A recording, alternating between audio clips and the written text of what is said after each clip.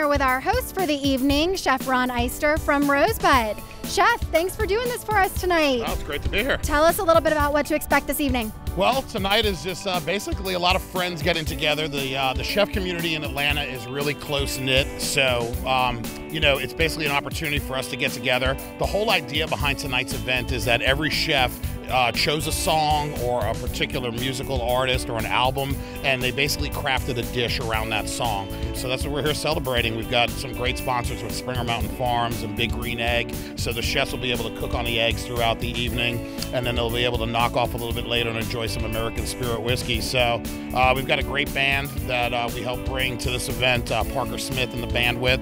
Um, they're going to be playing a lot of Southern songs, songs that are indigenous to Georgia. So it's really an event where we're celebrating the South. And obviously that goes hand in hand with Taste of Atlanta, as Taste of Atlanta has really made some tremendous strides over the past couple of years to where we're really embracing all that is local and making people aware of that.